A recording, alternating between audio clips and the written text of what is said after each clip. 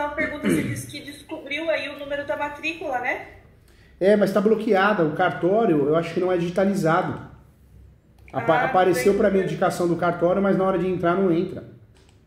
Mas ele não diz nem qual o cartório que é, só pra gente saber? Não, está bloqueado no sistema. Eu uso o sistema da Arisp. É, e uso também o sistema que é do Colégio Notarial, mas não tá. Eu acho que o cartório ele não. Talvez não seja. Digitalizado deve ser, né? Deve ser digitalizado, não tem como. Mas não está incluído no sistema, por algum motivo. Mas isso prejudica em alguma coisa? Não, a não, isso, isso é mais o.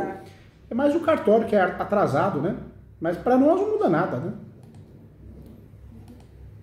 Não? Então tá. Doutor, daí pra gente fazer, no caso, se a gente for dar sequência né, no processo,